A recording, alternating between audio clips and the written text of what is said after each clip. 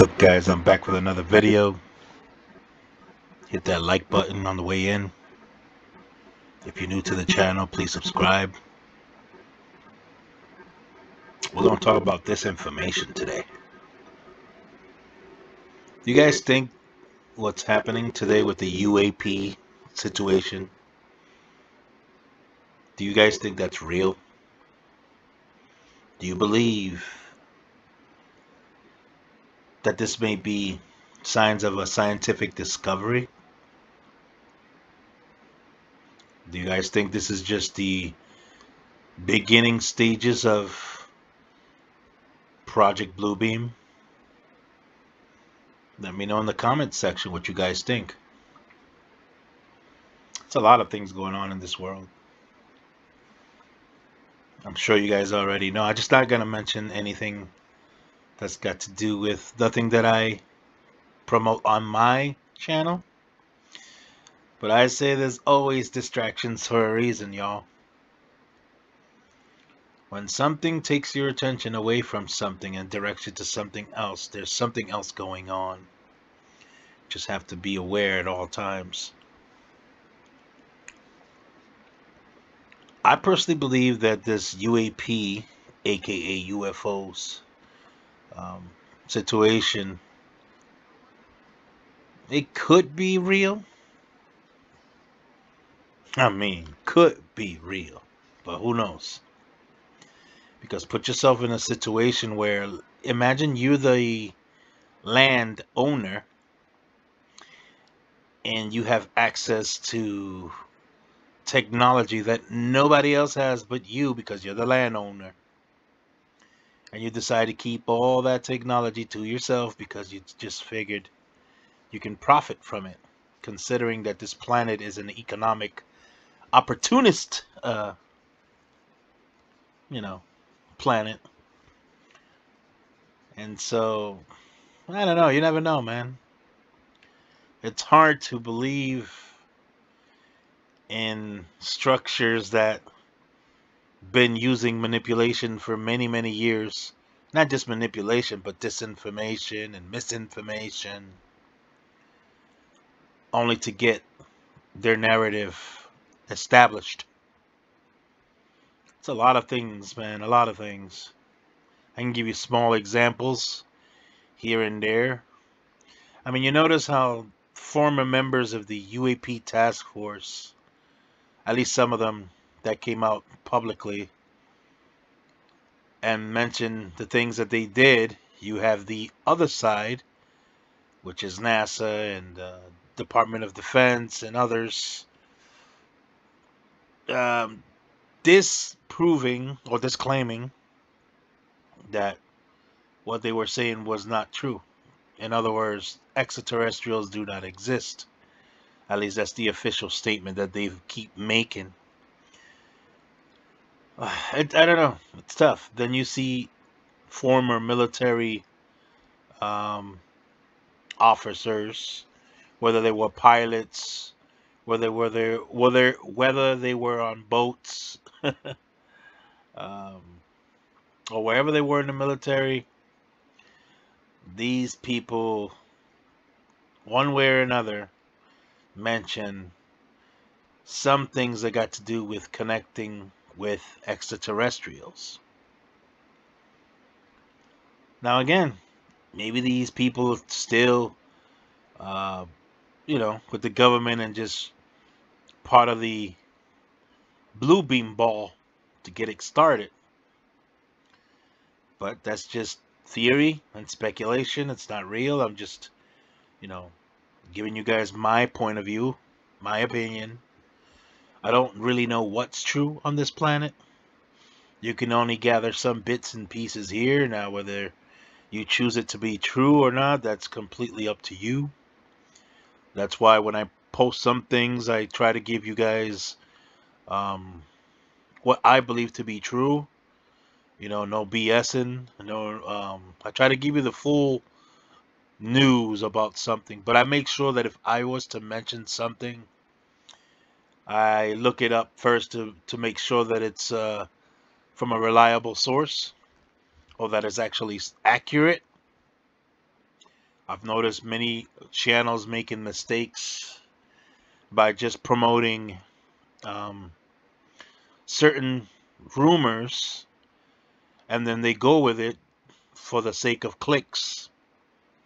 It's kind of sad that, you know, everybody's chasing a way to make views, but at the end of the day, if you're getting down with this YouTube channel um, stuff, it's pretty much to expand, you know, your mind with tons of people that watch your videos worldwide, wherever they are. Not only that, but able to communicate with people worldwide and share views, um, share all types of topics, of course.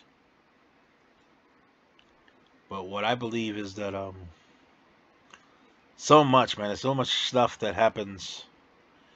We just gotta like, like I said, grab what you think is fair for yourself and discard what you think it's not. You know, this UAP stuff may may be indeed scientific discovery,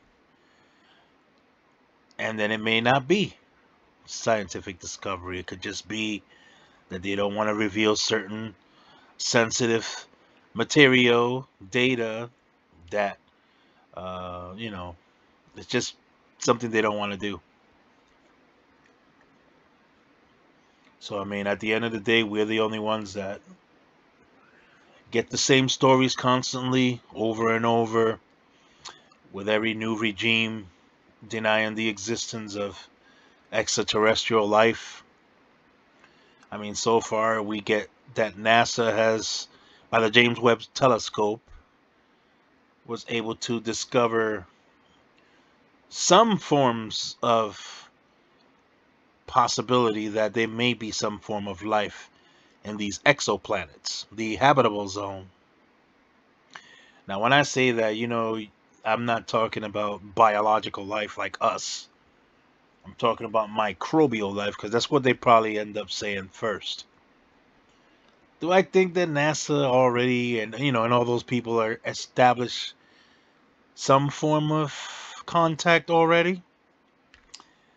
Man, that's tough, man. I mean, because at one point I I can say sure, you know, I believe they already have that contact, which anything's possible. But then sometimes it's hard to to believe whether you know it's real because everyone keeps making claims of either seeing or having direct contact with extraterrestrials. As you guys can see um, from my videos that I tackle a lot of these um, alien contact stories back in the days in 1950s, I believe. So that's why I pretty much tackled them type of stories back then. The Howard Menger story, the Frank Ernest Stranges story, the Adam, um, what was it? Adamski, Adamski story. Uh, uh, there's a lot of stories. So at the end of the day, it's hard to uh, just believe a lot of these individuals because a lot of these individuals they make up stories just for the sake of profit, you know. And some people continue to push a lot of these stories as fact for the same reason, you know, profit. It's hard, man. Again, it's hard to um when you really try to set the stage for truth, but there's too many people out there that promote a lot of nonsense and push it as truth. So it kind of messes it up for everybody, like those of us that are trying to really tell the truth about a lot of these things. Now I want to say I want to direct y'all if y'all if y'all um ever check out any other channel, you know, I would say check out the Black Vault channel with Greenewald. I believe his name is John Greenewald. Definitely like that channel. Um, he's always talking about some interesting things, guys, using FOIA, Freedom of Information Act. If you guys go to his channel, or maybe you're already familiar with his channel, you'll realize that when it comes to these topics, like the UAP topic and, you know, things like that nature, for now, he gets really deep into it. And somehow, you know, and he figures out a way to get these documents. I mean, unfortunately, when you request for a lot of these FOIA things, you're always going to have a lot of, you know, shaded out stuff. I guess it's top secret or whatever.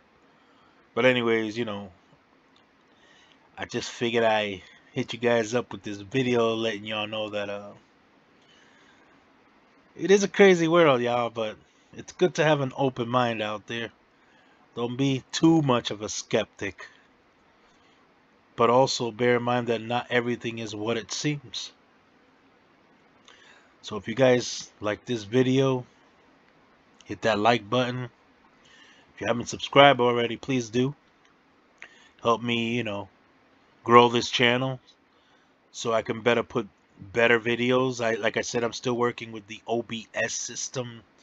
I'm not no computer genius. So it's kind of like taking me a little bit to figure it out, even though I know I've seen a lot of videos saying, oh, it's so simple to use OBS. I just got to figure it out.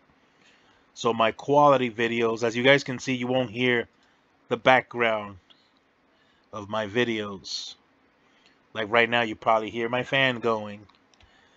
But yeah, I'm working. I'm trying to make better videos. Um, you know, not just these still pictures so you guys just hear my voice the whole time. Even though that I always say that it's not really about what I'm showing you. It's pretty much what I'm telling you.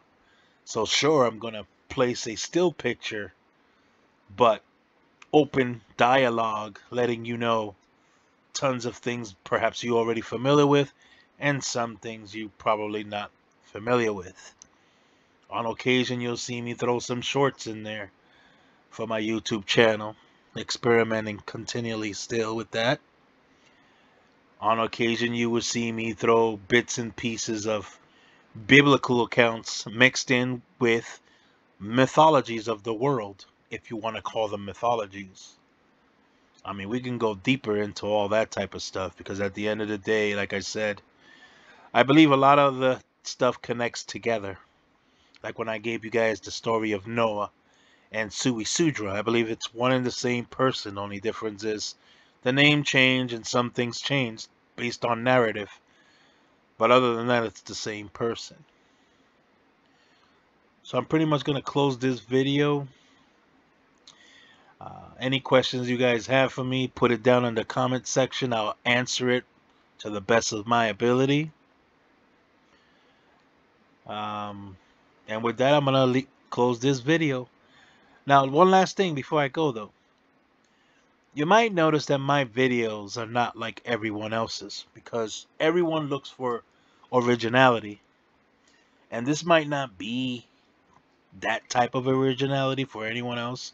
You know, because some people, they like to start their channels with an intro and then with an ending. I tend not to do all that. I tend to do it just verbalizing it towards the end. And that's how I do it. So I'll hit you guys up in the next one.